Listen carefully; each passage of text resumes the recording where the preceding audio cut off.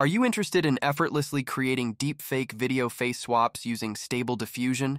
You've come to the right place.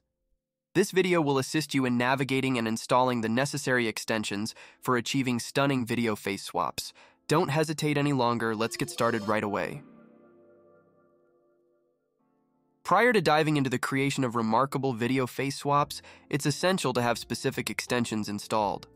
The following extensions are required. Requirement 1 Roop Extension. If you haven't installed the Roop extension yet, there's no need to worry. We've provided a detailed tutorial on how to install and utilize the Roop extension. The link is in the description. Requirement 2 Next View Extension. If you want to efficiently transform an original video into an image sequence and subsequently convert the face-swapped images back into a video, all without exiting the Stable Diffusion interface, the Next View extension is your ideal choice.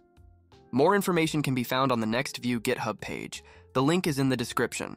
Requirement 3 Initial Video. Make sure you possess an initial video to initiate the face swap process. With all the requirements in place, we can proceed to open up the Stable Diffusion UI. Before we proceed, it's crucial to ensure that specific global settings are correctly configured. These global stable diffusion settings play a vital role in guaranteeing the accuracy of the names for the face swapped image sequence. First, navigate within Stable Diffusion to the Settings tab. Click on Saving Images grid in the left sidebar. Confirm that the file format for images is set to PNG. Ensure the Images file name pattern field is left empty, and make sure the option for adding a number to the file name when saving is unchecked. After configuring the settings correctly, select Apply Settings followed by clicking on Reload UI. Next, once all the specified requirements are successfully installed and the global stable diffusion settings are correctly configured, the procedure will commence by accessing the Next View extension in the top nav bar. Place your initial video onto the canvas within the Next View extension and click on the Generate Image Sequence button. After the process is complete, you will be given a file location containing all the generated images extracted from the video. You can now proceed to copy this file location, which will enable you to utilize the image sequence for batch processing within the Image to Image tab. After copying the file location containing the image sequence extracted from the video file using the Next View extension, you can move on to the Image to Image Batch tab. In the Image to Image Batch subtab, paste the file location into the Input Directory field. Choose a suitable location for the Output Directory. This is where all the batch face swapped images will be stored.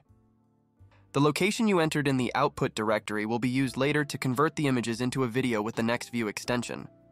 Let's move on to the settings in the Image to Image tab. For the checkpoint, we will use Realistic Vision. For the sampling method, we will use Euler A. And for the sampling steps, we will set this to 30. Make sure the denoising strength is set to 0. We've set denoising to zero because our intention is to preserve the image sequence as is, without altering anything except for the face with the Roop extension later on. Make sure the seed is set to minus 1 and for the width and height, make sure that the video ratio aligns with the image sequence you supplied earlier. In our case, this ratio is 916. Now that we have these settings in place, we can transition to the following stage, which entails employing the Roop extension for face swapping. Hopefully, you already have a fantastic face in mind for the face swap. Let's move forward. For this tutorial, we've selected the stunning face portrait of Salma Hayek as our choice. And of course, remember don't forget to enable the Roop extension. Now, click the Generate button and patiently await as your image sequence goes through the face swapping process using the face image you've provided on the Roop extension canvas. Once everything has finished rendering, proceed by copying the output directory file location where the face-swapped images are stored. Now navigate to the Next View extension in the top nav bar within Stable Diffusion. In the Next View extension, go to the Image Sequence 2 Video tab and paste the file location into the Image Sequence Location text field. Then click Generate Video to convert the face-swapped image sequence into a video. The output location of the video will be the following Stable Diffusion, Web UI, Extensions, Next View, Output Videos. If you followed this tutorial accurately, you should have successfully created a face-swapped video with the face you provided in the Roop extension. In our case, we have created a deepfake video of the beauty of Salma Hayek. Let's enjoy this view for a moment. While you enjoy the view, just leave a like and subscribe to our channel. We trust that this guide has provided you with valuable insights and assistance in your exploration of the potential of deepfake video face swaps. Embrace your creative ventures and enjoy the journey, and we will see you in the next one.